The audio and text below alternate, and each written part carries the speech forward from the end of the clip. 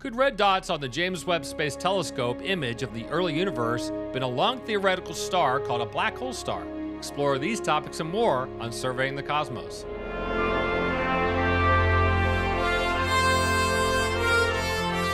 Hi everyone, I'm Erik, and welcome to Surveying the Cosmos, where I'll get your space news and more real fast.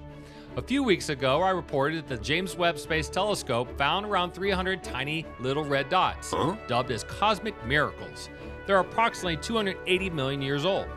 Some astronomers have suggested that these little red dots were potentially mature galaxies way too early in the current timeline of the Big Bang model, when the first stars are thought to have formed about 120 million years later.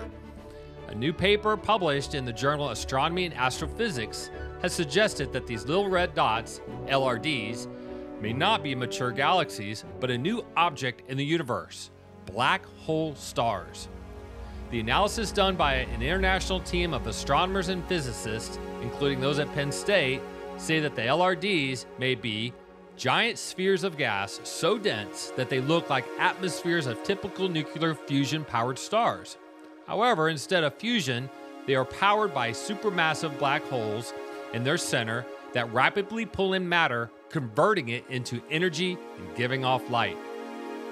These black hole stars have a resemblance of other cold stars found in the universe, but magnitudes larger in size. While the gas surrounding supermassive black holes reach temperatures of millions of degrees Celsius, the gas around these stars remain relatively cold and emit light primarily in the red or near infrared spectrum. Supermassive black holes have been found at the center of galaxies as we see today.